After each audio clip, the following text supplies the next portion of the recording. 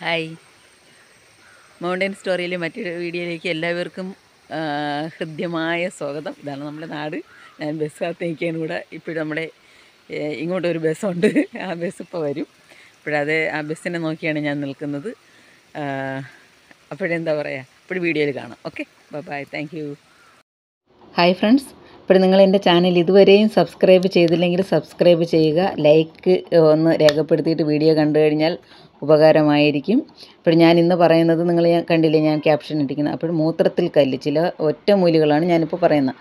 ഞങ്ങളുടെ വനത്തിൽ അല്ലെങ്കിൽ ഞങ്ങളുടെ ആദിവാസി വിഭാഗത്തിൽ ട്രൈബ്സിനിടയിൽ ഞങ്ങൾ മൂത്രക്കല്ലൊന്നും വരാതിരിക്കാനായിട്ട് പ്രയോഗിക്കുന്ന ചില ഒറ്റമൂലികളുണ്ട് വന്നിരുന്നാൽ അതിനെ മാറ്റാനും വരാതിരിക്കാനുമായിട്ട് ഞങ്ങൾ പ്രയോഗിക്കുന്ന ഒറ്റമൂലികളാണ് നമുക്ക് പ്രകൃതിയാണല്ലോ നമ്മുടെ വൈദ്യശാല. അപ്പോൾ നമ്മൾ പ്രകൃതിയിൽ നിന്ന് ഓരോന്ന് കണ്ടുപഠിച്ച് അല്ലെങ്കിൽ അത് നമ്മൾ യൂസ് ചെയ്താണ് നമ്മുടെ ജീവിതം മുന്നോട്ട് പോകുന്നത്. അല്ലാതെ നമ്മൾ പുറത്തോട്ട് പോയി മരുന്നുകൾ വാങ്ങി കഴിക്കും തോറും നമ്മുടെ ജീവനും നമ്മുടെ ജീവിതവും നശിച്ചുകൊണ്ടിരിക്കും.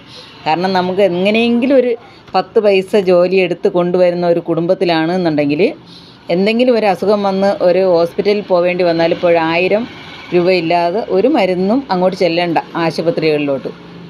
അപ്പോഴങ്ങനെ പൈസ നമുക്ക് മരുന്ന് വാങ്ങി അല്ലെങ്കിൽ അങ്ങനെയൊക്കെ തന്നെ പൈസ കളയേണ്ടി വരും. നമുക്ക് ആഹാരത്തിനോ അല്ലെങ്കിൽ ബാക്കിയുള്ള ജീവിത സൗകര്യങ്ങൾക്കോ വേണ്ടിയിട്ട് പൈസ ചിലവാക്കാതെ നമ്മൾ ഈ മരുന്നിനും കാര്യങ്ങൾക്കുമായിട്ടൊക്കെ പൈസ ചിലവാക്കുന്നത് ഒരു വല്ലാത്ത കഷ്ടമായിട്ടുള്ള കാര്യമാണ്.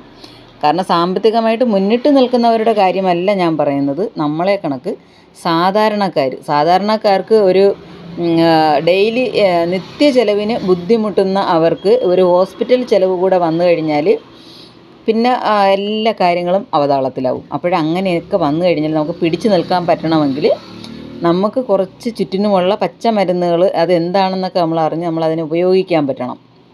അങ്ങനെ ആയിരുന്നാൽ തന്നെ നമുക്ക് ഒരുവിധപ്പെട്ട ആശുപത്രിയിലുള്ള മരുന്നുകളൊന്നും നമുക്ക് വേണ്ട.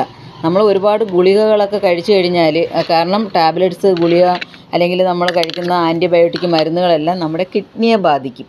അത് പല രൂപത്തിൽ അത് മരുന്നുകൾ മാത്രമല്ല കേട്ടോ. നമ്മൾ പുറത്തുനിന്ന് കഴിക്കുന്ന ഒരുവിധപ്പെട്ട എല്ലാ ഭക്ഷണവും നമ്മുടെ കിഡ്നിയെ ബാധിക്കാറുണ്ട്. അതുപോയിട്ട് തന്നെ നമ്മുടെ അണ്ണന്മാർക്കൊക്കെ ഉള്ള മദ്യപാനം പുകവലി അങ്ങനെ ഒരുവിധപ്പെട്ട നല്ല ശീലങ്ങളെല്ലാം നമ്മുടെ വൃക്കയെ തകരാറിലാക്കും.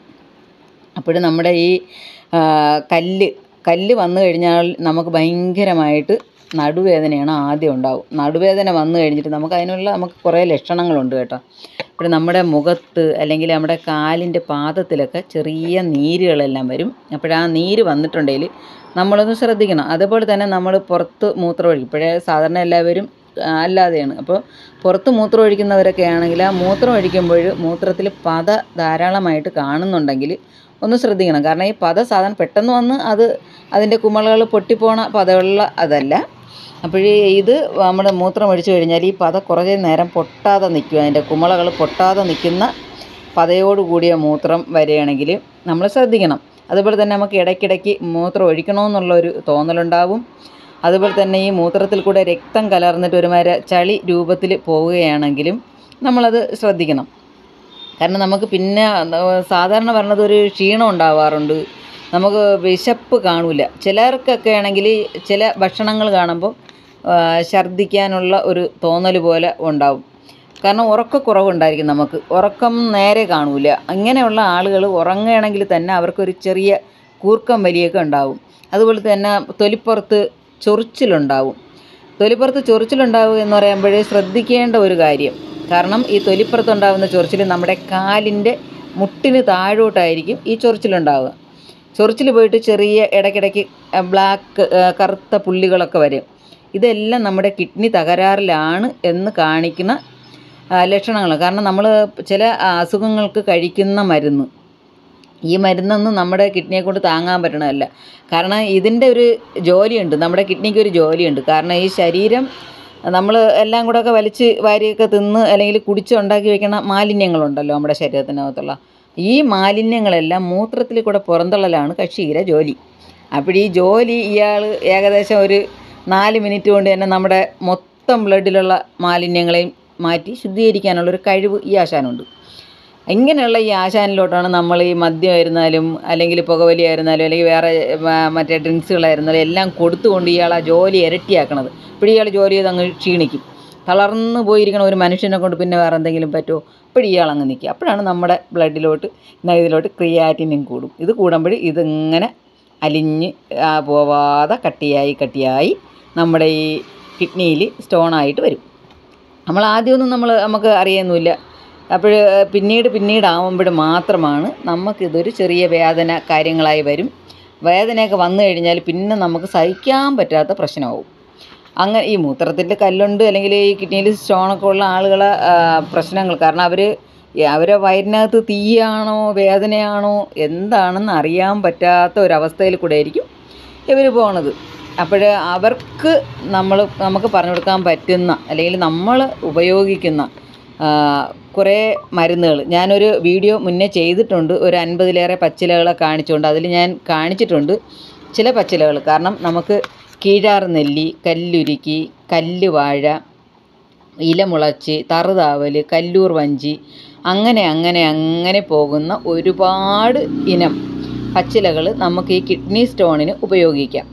കാരണം ഇത് എങ്ങനെയെങ്കിലും നമ്മൾ കൊണ്ടൊന്നും ഉപയോഗിച്ചിട്ട് കാര്യമില്ല. ഇതൊക്കെ നമുക്കറിയാം. ഇതെല്ലാം നമുക്ക് പറ്റും. പറ്റും നമ്മളിതൊക്കെ കൊണ്ടുവന്ന് കല്ലുരുക്കി കളയുമെന്ന് പറഞ്ഞിട്ടൊന്നും കാര്യമില്ല. അങ്ങനെയൊന്നും കല്ലുരുക്കി പോവുകയൊന്നുമില്ല ഈ മരുന്നുകളെ തെറ്റായ ഉപയോഗം കല്ല് കൂട്ടാനൊക്കെ ഉപകരിക്കും. കാരണം നമ്മൾ ചേർക്കേണ്ട കാര്യങ്ങൾ ഇങ്ങനെ പറയുന്ന പച്ചിലകൾ കൂടെ എല്ലാം ഈ മരുന്നുകൾ അതിന്റെ കൂട്ടുമരുന്നുകൾ അല്ലെങ്കിൽ ഈ ഒറ്റമൂലികളിലൊന്നും നമുക്ക് വേറെ ഒന്നും വേണ്ട. ഇതിന്റെയൊക്കെ ചാറുകൾ തന്നെ മതി. പക്ഷേ അത് കുടിക്കേണ്ട ടൈം കുടിക്കേണ്ട അളവ് അതൊക്കെ ഉണ്ട്. അപ്പോൾ ആ ഈ മരുന്ന് നമ്മൾ കുടിച്ചു കഴിഞ്ഞാൽ പാലിക്കേണ്ട പദ്യം നമുക്ക് പദ്യാഹാരമൊക്കെ ഉണ്ട്. അല്ലാതെ നമ്മൾ വെറുതെ മരുന്ന് കുടിച്ചിട്ട് ആയുർവേദ മരുന്ന് സാധാരണപ്പെട്ട എല്ലാവരും ഒഴിവാക്കുന്നതിന്റെ പ്രധാന കാരണം തന്നെ എന്താണെന്ന് മനസ്സിലായില്ലേ? പദ്യം നോക്കാൻ ആർക്ക് വയ്യ. കാരണം കിട്ടുന്നത് കിട്ടുന്നത് ഭക്ഷിച്ച് അല്ലെങ്കിൽ കിട്ടുന്നിടത്തുനിന്നെല്ലാം ഉള്ളതെല്ലാം വാരി വലിച്ച് തിന്ന് കുടിച്ച് ജീവിക്കുന്ന ഒരു ജനത അല്ലെങ്കിൽ ഒരു സമൂഹമായി മാറിക്കൊണ്ടിരിക്കുകയാണ് നമ്മുടെ ഇപ്പോഴത്തെ ജനത. പണ്ട് കാലത്ത് ഇങ്ങനെയൊന്നുമല്ല. പണ്ട് നമ്മുടെ ഞങ്ങളുടെയൊക്കെ ഇടയിൽ ഞങ്ങളുടെ ട്രൈബ്സിന്റെ ഇടയിൽ പണ്ട് അപ്പൂപ്പന അങ്ങനെയുള്ളവർ എല്ലാവരും അവർ രാവിലെ പോയി കാട്ടിൽ പോയി കാട്ടുകിഴങ്ങുകൾ അല്ലെങ്കിൽ ബാക്കിയുള്ള ഭക്ഷണങ്ങളെല്ലാം അന്നന്നത്തേക്കുള്ള ഭക്ഷണ സാധനങ്ങൾ വനത്തിൽ നിന്ന് ശേഖരിച്ച് കൊണ്ടുവന്ന് വൈകുന്നേരമാണ് അവർ ഭക്ഷണം പാചകം ചെയ്യുന്നത്. ആ വൈകുന്നേരം പാചകം ചെയ്ത് ആ വീട്ടിലുള്ള എല്ലാവരും ഒക്കെ ഭക്ഷിച്ച് പിറ്റേന്ന് രാവിലത്തേക്ക് കുറേ കാണും. അത് കഴിച്ചിട്ട് വീണ്ടും അവർ കാട്ടിൽ കയറി പോവുകയാണ് ഇതിന്റെ ഇടയ്ക്ക് അവർക്ക് ഭക്ഷണമൊന്നുമില്ല. ഇതിന്റെ ഇടയിൽ അവർ കഴിക്കുന്നത് കാട്ടിൽ നിന്ന് കിട്ടുന്ന നമ്മളെ നമുക്കവിടെ ആയൽ ഒലട്ടി അങ്ങനെയൊക്കെ പറയുന്ന കുറേ സാധനങ്ങളൊക്കെ ഉണ്ട്. പിന്നെ കാട്ടിൽ നമുക്ക് ഒരുപാട് ആഹാര സാധനങ്ങളുണ്ട്. നമുക്ക് പച്ചയ്ക്ക് ലൈവായിട്ട് കഴിക്കാൻ പറ്റുന്നതെല്ലാം വെട്ടി കുടിച്ച് തിന്ന് അങ്ങനെയൊക്കെ നടക്കുകയേ ചെയ്യുള്ളൂ. ഇപ്പോഴാ കാട്ടിലുള്ള പച്ചിലകളും അങ്ങനെയുള്ള നമ്മൾ പുല്ലാഞ്ഞി വെള്ളം അങ്ങനെയൊക്കെ ഉള്ള സാധനങ്ങൾ അതെല്ലാം കുടിച്ചും തിന്നും നല്ല നെല്ലിക്ക അമ്പഴങ്ങ കാരക്കയൊക്കെ പറക്കി തിന്നൊക്കെ നടക്കുന്നത് കൊണ്ട് നമുക്ക് വലിയ കൊളസ്ട്രോൾ ഷുഗർ അങ്ങനെയുള്ള വേറെ ഒരു പ്രശ്നങ്ങളും ഞങ്ങളുടെ ജനതയ്ക്കകത്ത് ഉണ്ടാവാറില്ല ഞങ്ങളുടെ ആ ഒരു സമൂഹത്തിൽ ഇപ്പോഴും വിരളമായിട്ട് മാത്രം കാരണം പുറത്തോട്ട് പോയി ജീവിതം ജീവിക്കുന്ന ഞങ്ങളിലുള്ള കുറേ ആൾക്കാർക്ക്. അവർക്ക് ഈ പറയുന്നത് പോലെ പുറത്തോട്ടുള്ള എല്ലാ സകലവിധ അസുഖങ്ങളും ഉണ്ട്. അതൊക്കെ ഒരു ക്രെഡിറ്റ് പോലെ കൊണ്ട് നടക്കുന്ന പല ആൾക്കാരും ഉണ്ട്. അപ്പോൾ ഈ കുറേ അസുഖങ്ങളൊക്കെ ഉണ്ടെന്ന് പറഞ്ഞ് കുറേ ഗുളിക മരുന്നൊക്കെ എടുത്ത് ബാക്കിയുള്ള ആൾക്കാരെ കാണിക്കുമ്പോൾ മനസ്സിനൊരു സംതൃപ്തി കിട്ടുന്ന രീതിയിലുള്ള ആളുകളുണ്ട്. കാരണം ഒരാൾക്കൊരു അസുഖമാണെന്ന് പറഞ്ഞാൽ അവർക്ക് പോയി പിന്നെ ആ ഒരു ചെറിയ അസുഖത്തിന് വലുതായി അതിന്റെ മരുന്ന് അങ്ങേയറ്റത്തെ ഡോസ് വരെ എടുത്തെങ്കിൽ മാത്രം സമാധാനപ്പെടുന്ന മനസ്സ്. അപ്പോഴ് അതൊക്കെ ശരിയല്ല. കാരണം നമുക്ക് നമ്മുടേതായിട്ട് ഓരോ അസുഖങ്ങൾ നമുക്കുണ്ടെങ്കിൽ അത് നമ്മളായിട്ട് വരുത്തി വയ്ക്കുന്ന അസുഖമാണ്. നമ്മൾ പ്രകൃതിയുമായി ഇണങ്ങി ചേർന്ന് ജീവിക്കുകയാണെങ്കിൽ അസുഖം വരില്ല അങ്ങനെ വരും നിങ്ങൾക്ക് ആർക്കെങ്കിലും എന്തെങ്കിലും സംശയങ്ങളുണ്ടോ? ഇല്ല.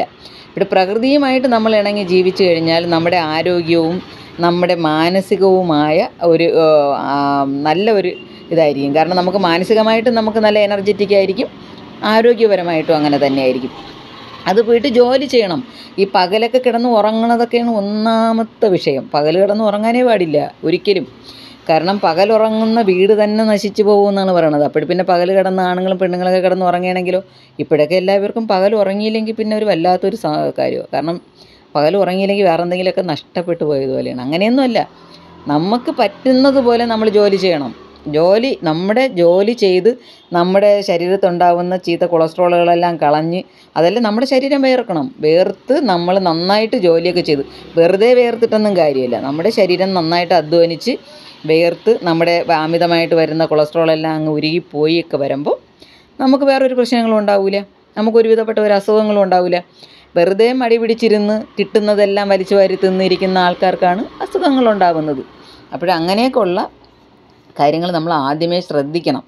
കുട്ടികളെ പോലെയല്ല. നമ്മളൊരു പത്ത് മുപ്പത് വയസ്സ് കഴിഞ്ഞു കഴിഞ്ഞാൽ വീ നമ്മുടെ ശരീരം ഇപ്പോഴ് രോഗാതുരമായിക്കൊണ്ടിരിക്കുകയാണ്. കാരണം നമ്മൾ കഴിക്കുന്ന ആഹാരമായാലും വെ കുടിക്കുന്ന വെള്ളമായിരുന്നാലും വിഷമാണ് കാരണം വിഷം പച്ച പച്ചക്കറികളിൽ വിഷം മറുനാട്ടിൽ നിന്ന് കൊണ്ടുവരുന്നത് നമുക്ക് സ്വന്തമായിട്ട് കൃഷി ചെയ്യാനായിട്ട് നമുക്ക് മടി. അപ്പോൾ നമ്മളൊന്നും ഉണ്ടാക്കൂല. അല്ല അവിടെ നിന്ന് കിട്ടുന്നത് വാങ്ങും. ഇപ്പോഴെന്ന് വെച്ചാൽ കട്ട് ചെയ്ത് വെച്ചിരിക്കുന്ന പച്ചക്കറി വാങ്ങി കൊണ്ടുവന്ന് കറി വെച്ച് കഴിക്കുന്ന ഇത് ആ ഒരു രീതിയായി. എന്ന് വെച്ചാൽ കട്ട് ചെയ്യാൻ പോലും നമുക്ക് നേരമില്ല. അങ്ങനെയായി. അപ്പോഴൊക്കെ നമുക്ക് അസുഖം കൂടെ ഉള്ളൂ. അങ്ങനെ നമ്മൾ അസുഖക്കാരായിരിക്കാതെ നമ്മുടെ ഈ പ്രകൃതിയിലുള്ള സാധനങ്ങൾ എടുത്ത് നമ്മൾ കഴിക്കണം. മൂത്രത്തിൽ കല്ലൊക്കെ വന്നു പോയാൽ നമ്മുടെ കിഡ്നിയൊക്കെ അടിച്ചു പോയാൽ കാരണം ഒരു കിഡ്നി പ്രവർത്തനം നിലച്ചാലും നമ്മൾ അറിയില്ല അപ്പോഴൊക്കെ നമ്മൾ മറ്റേ കിഡ്നി ഇങ്ങനെ വർക്ക് ചെയ്തുകൊണ്ടിരിക്കും. ആശായി. ഇത് രണ്ടുപേരുണ്ടല്ലോ ജോഡിയായിട്ട് ഇരിക്കുകയല്ലേ? ഇപ്പോൾ ഒരാൾ തളർന്നത് അറിയാതെ മറ്റേ ആൾ വർക്ക് ചെയ്യും.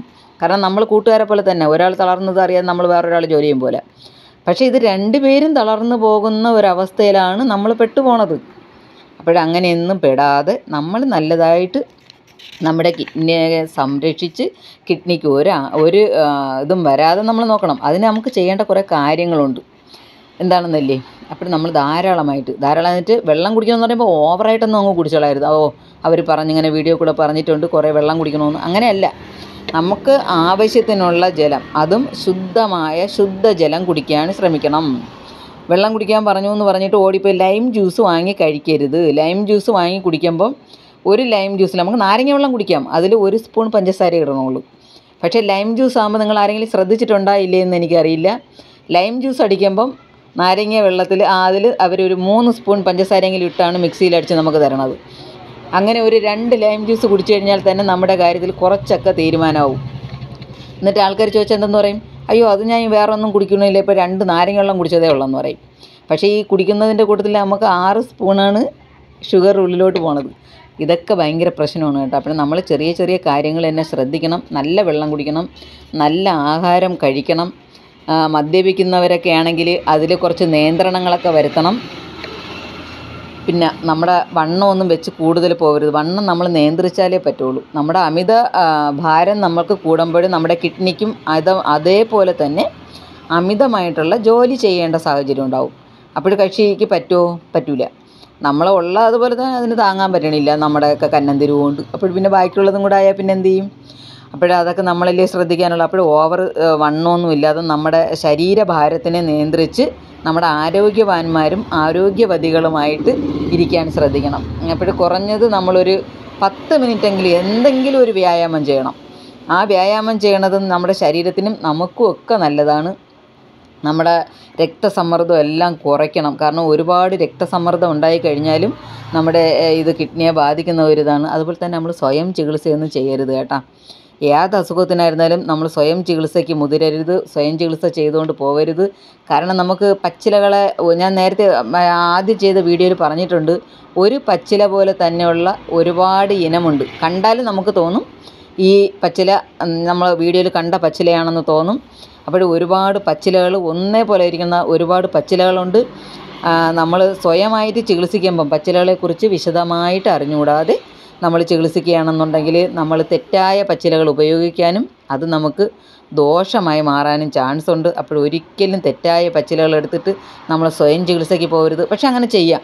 നിങ്ങൾക്ക് സ്വയം ചികിത്സ ചെയ്യാം. എങ്ങനെയാണെന്ന് വെച്ചാൽ നിങ്ങളുടെ വീട്ടിലുള്ള മുതിർന്നവർ അവർക്ക് ഈ പച്ചിലകളെ കുറിച്ചിട്ടുള്ള നല്ല അറിവുണ്ടായിരിക്കും. കാരണം പഴയ ആൾക്കാർക്കാണ് ഇതിനെക്കുറിച്ചിട്ടെല്ലാം നല്ല ഗ്രാഹ്യമുള്ളത്. അവർ നമ്മളെക്കാളുമൊക്കെ മുന്നേ പ്രകൃതി അറിഞ്ഞ് അവർ ആരോഗ്യമൊക്കെ സംരക്ഷിച്ച് നല്ല സെറ്റപ്പായിട്ടിരുന്ന മനുഷ്യരാണ്. അപ്പോൾ അവരൊക്കെ ഉണ്ടെങ്കിൽ അങ്ങനെ മുതിർന്ന ഒരു വീട്ടിലുണ്ടെങ്കിൽ അവരെ കാണിച്ച് ഇതാണോ അല്ലെങ്കിൽ ഈ പച്ചടി ഇതാണോ എന്ന് ഈ പച്ച പൂച്ചെടിയായിരുന്നാലും പച്ചിലകളായിരുന്നാലും ഇതാണോ എന്ന് ചോദിച്ചിട്ട് നമുക്ക് ആ മരുന്ന് ചെടിയെടുത്ത് നമുക്ക് ഉപയോഗിക്കാം. എങ്കിൽ നമുക്ക് വേറെ പ്രശ്നങ്ങളൊന്നും വരില്ല.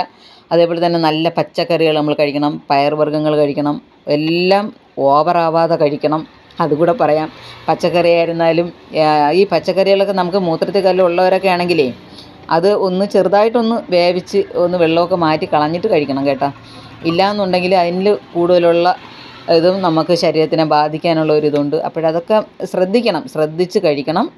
മരുന്നുകൾ എടുക്കുമ്പോൾ ശ്രദ്ധിക്കണം. അപ്പോൾ നിങ്ങൾക്ക് ഇതിലുള്ള നമുക്ക് കീടാർ നെല്ലിയായിരുന്നാലും ഇലമുളച്ചയായിരുന്നാലും നമ്മുടെ കല്ലൂർ കല്ലൂർ വഞ്ചി നമുക്ക് വേറൊരു സ്ഥലത്തു നിന്നാണ് കൊണ്ടുവരുന്നത്. കാരണം അത് ആറിനകത്ത് ആറ്റിന്റെ അടിയിൽ വെള്ളത്തിനടിയിലുള്ള പാറകളിൽ ചെറിയ ചെറിയ പാറകളിൽ പറ്റിച്ചേർന്ന് വളരുന്ന ഒരു ചെടിയാണ് കല്ലൂർ വഞ്ചി.